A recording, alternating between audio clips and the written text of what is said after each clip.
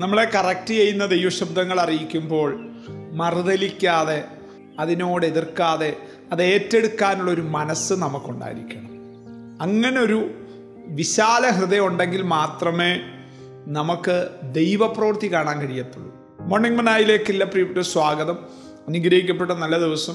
കർത്താവിന്റെ സന്നിധിയിൽ പിന്നെയും അടുത്തു വരാൻ വചനം ചിന്തിക്കാൻ ദൈവം തരുന്ന സാവകാശത്തിനായിട്ട് സ്തോത്രം. രണ്ട് ദിനവൃത്താന്തങ്ങളുടെ പുസ്തകം പതിനെട്ടാം അധ്യായത്തിലെ ചില ഭാഗങ്ങളാണ് കഴിഞ്ഞ ദിവസങ്ങൾ നമ്മൾ ചിന്തിച്ച് തുടങ്ങിയത്. യഹോഷാഫാത്തിനെ വശീകരിക്കുന്ന ഒരു ആഹാബിനെ കുറിച്ച് നമ്മൾ ചിന്തിച്ചു. രണ്ട് ആമേൻ യഹോഷാഫാത്ത് ദൈവത്തോട് ആലോചന ചോദിക്കുന്നതായിട്ട് നമ്മൾ കഴിഞ്ഞ ദിവസം ചിന്തിച്ചു. അവിടെയും ആഹാബിന്റെ ഇഷ്ടം നിറവേറാനായിട്ട് കൂടെ മേശയിൽ ഭക്ഷിക്കുന്ന നാനൂറിലധികം പ്രവാചകന്മാരെ കൊണ്ട് ഒരേ രീതിയിലുള്ള വാക്കുകൾ പറയിപ്പിച്ചു. എന്നിട്ടും അതൊരു ദൈവശബ്ദമായിട്ട് ആമേൻ യഹോഷാഫാത്തിന് തോന്നാതിരുന്നത് കൊണ്ട് അവൻ അടുത്ത ചോദിക്കുക ഇനിയും ആരും ഇവിടെ പ്രവാചകന്മാരായിട്ടില്ലയോ? ആ വാക്യം നമുക്ക് ഇന്ന് ചിന്തിക്കാം. രണ്ട് ദിനവൃത്താന്തം പതിനെട്ടിന്റെ ആറാമത്തെ വാക്യം എന്നാൽ യഹോഷാഫാത്ത് നാം അരുളപ്പാട് ചോദിക്കേണ്ടതിന് ഇവിടെ യഹോവയുടെ പ്രവാചകനായി ഇനി ആരുമില്ലയോ എന്ന് ചോദിച്ചു. അതിന് ഇസ്രായേൽ രാജാവ് യഹോഷഫാത്തിനോട് നാം യഹോവയോട് അരുളപ്പാട് ചോദിക്കാൻ തക്കവണ്ണം ഇനി ഒരുത്തനുണ്ട്. എന്നാൽ അവൻ എന്നെക്കുറിച്ച് ഒരിക്കലും ഗുണമല്ല. എല്ലായ്പ്പോഴും ദോഷം തന്നെ പ്രവചിക്കുന്നത് കൊണ്ട് എനിക്ക് അവനെ ഇഷ്ടമല്ല. അവൻ ഇമ്ളയുടെ മകനായ മീഖായാവ് എന്ന് പറഞ്ഞു. സ്തോത്രം. യുവജനം നിങ്ങൾ കേട്ടോ? ആഹാബിന് ഇഷ്ടമല്ലാത്ത കാര്യം പ്രവചിക്കുന്ന ഒരു മനുഷ്യൻ. ആഹാബിനെ എന്തോ പ്രസാദിപ്പിക്കാത്ത നാനൂറിലധികം പേര് അവനെ പ്രസാദിപ്പിക്കുക അവന്റെ മേശയിൽ നിന്ന് ഭക്ഷിച്ചുകൊണ്ടിരിക്കുന്നവരാ. ഏ? ആഹാബിന് ഇഷ്ടമില്ലാത്ത ഒന്നും അവർ പറയത്തില്ല. അതപ്പോൾ എന്തോ ആലോചന അത്? ദൈവാലോചന അല്ല ഒന്നുകിൽ മാനുഷിക ബുദ്ധിയിൽ നിന്ന് വരുന്ന മാനുഷിക വാക്ക്. അല്ലെങ്കിൽ ഈസബേലിന്റെ കൂടെ ചലിക്കുന്ന വ്യാജ ബാലിന്റെ ശക്തികൾ.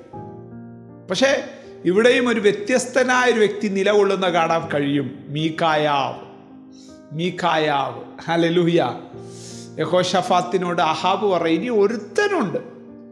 അവൻ എന്നെക്കുറിച്ച് നല്ല കാര്യമൊന്നും ഇതുവരെ പറഞ്ഞിട്ടില്ല.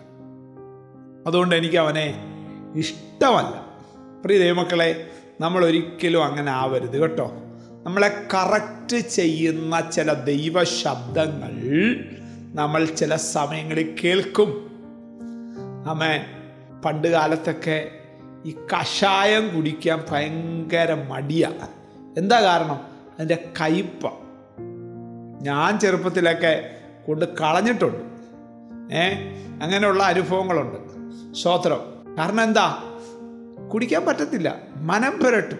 വാ കഴിക്കും. ഇല്ലേ? അങ്ങനെയുള്ള പലതും നമ്മൾ ഇഷ്ടമല്ലാത്ത കാരണം മാറ്റി നിർത്തും. ഇവിടെ ഈ മനുഷ്യൻ ആഹാബിനെ കറക്റ്റ് ചെയ്യുന്ന ദൈവശബ്ദങ്ങളാണ് പറയാറുള്ളത്. മീഖായാവ്. പക്ഷെ ആഹാബ് അങ്ങോട്ട് അത് ഏറ്റെടുക്കത്തില്ല. കാരണം അവൻ ചലിച്ചുകൊണ്ടിരിക്കുന്ന പൈശാചിക വ്യാപാരത്തിലാണ്. ഇന്നും ലോകത്തിലേക്ക് നിങ്ങൾ നോക്കിയേ എത്ര മാധുര്യമേറി ദൈവശബ്ദമാണ് കർത്താവ് സംസാരിക്കുന്നത് അപ്പോൾ തന്നെ കറക്റ്റ് ചെയ്യുന്ന ദൈവശബ്ദങ്ങൾ പറയാറുണ്ട് അല്ലേ? കറക്റ്റ് ചെയ്യുമ്പോൾ കറക്റ്റ് ചെയ്യാന്ന് പറഞ്ഞാൽ എന്താ? ഉപദേശം പറയുക. ദൈവവചനത്തിലെ അടിസ്ഥാന തത്വങ്ങൾ ഇങ്ങനെ ആയിരിക്കണം ജീവിക്കേണ്ടത്. ഇങ്ങനെ മാത്രമേ ജീവിക്കാവൂ എന്നുള്ള അടിസ്ഥാന തത്വങ്ങൾ പറയുമ്പോൾ ചിലർക്ക് അത് അംഗീകരിക്കാൻ പറ്റുന്നില്ല. എന്നാൽ ചക്രവർത്തമാനം പറയുമ്പോൾ കർണരസമാകുമാറുള്ള കാര്യങ്ങൾ പറയുമ്പോൾ ഭയങ്കര ഡിമാൻഡാ. അങ്ങനെയുള്ളവർക്ക് ഭയങ്കര ഡിമാൻഡാ. യേശുവിന്റെ കാലഘട്ടത്തിൽ അങ്ങനെ ഉണ്ടായിരുന്നു കേട്ടോ. യേശു ലാവണ്യ വാക്കുകൾ പറഞ്ഞപ്പോൾ ആയിരങ്ങൾ കൂടി പതിനായിരങ്ങൾ കൂടി. എന്നാൽ യേശു ഉപദേശം പറയാൻ തുടങ്ങിയപ്പോൾ ഇത് കഠിന വാക്കാന്ന് പറഞ്ഞിട്ട് എല്ലാവരും വിട്ടുപോയി. പന്ത്രണ്ട് ശിഷ്യന്മാർ മാത്രം ശേഷിച്ചപ്പോൾ കർത്താവ് ചോദിക്കും നിങ്ങൾക്ക് പോകാൻ മനസ്സില്ലയോ എന്ന് ആരെങ്കിലും പത്രോസ് തിരിച്ചു പറഞ്ഞ എന്താ പറയുക കർത്താവേ നിത്യജീവന്റെ മൊഴികൾ നിന്റെ പക്കലുണ്ട്. ഞങ്ങൾ നിന്നെ വിട്ടിട്ട് എവിടെ പോവാനാ? മനസ്സിലായ? ആ ഒരു ബോധ്യം നമുക്കുണ്ടായിരിക്കണം ദൈവമക്കളെ. ഹാലലുയ നോക്കിയേ ഇവിടെ ദൈവാത്മാവ് കറക്റ്റ് ചെയ്യുമ്പോൾ ആഹാബ് അത് അംഗീകരിക്കുന്നില്ല. ജഡത്തി സഞ്ചരിച്ചാൽ അംഗീകരിക്കാൻ പറ്റത്തില്ല. മാ മാനുഷികമായ ബുദ്ധിയിൽ ചലിക്കുന്നവർക്ക് ദൈവാലോചനകൾ അംഗീകരിക്കാൻ കഴിയത്തില്ല. പക്ഷെ ഞാനും നിങ്ങളും അങ്ങനെ ആകരുതെന്നാണ് ഈ പ്രഭാതത്തിൽ പരിശുദ്ധാത്മാ നമ്മളെ ആഹ്വാനം ചെയ്യുന്നത്. കണ്ണുകളടയ്ക്കാൻ പ്രാർത്ഥിക്കാം. മാനുഷികമായ ഇഷ്ടങ്ങൾക്കനുസരിച്ച് മുന്നോട്ട് ചുവടുവെക്കുന്ന ഒന്നും ഞങ്ങളുടെ ലൈഫിൽ ഉണ്ടാകരുതേ എന്ന് ദൈവമേ അങ്ങയോട് പ്രാർത്ഥിക്കുന്നു.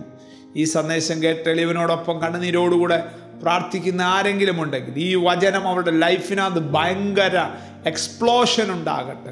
കർത്താവ് വലിയൊരു ദൈവപ്രവൃത്തി കൊണ്ടുവരട്ടെ എന്ന് പ്രാർത്ഥിക്കുന്നു. ബ്ലസ് ചെയ്യുന്നു. യേശുവിൻ നാമത്തിൽ തന്നെ. അമേ മേ ഗോഡ് ബ്ലസ് യു ദയ നമ്മെ അനുഗ്രഹിക്കട്ടെ.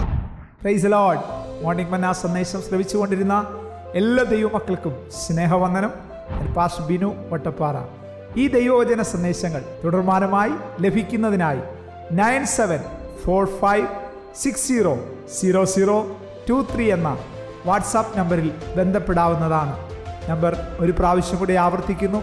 തൊണ്ണൂറ്റിയേഴ് നാൽപ്പത്തിയഞ്ച് അറുപത് പൂജ്യം പൂജ്യം ഇരുപത്തി മൂന്ന് ദൈവം നമ്മേവരെയും അനുഗ്രഹിക്കട്ടെ. God bless you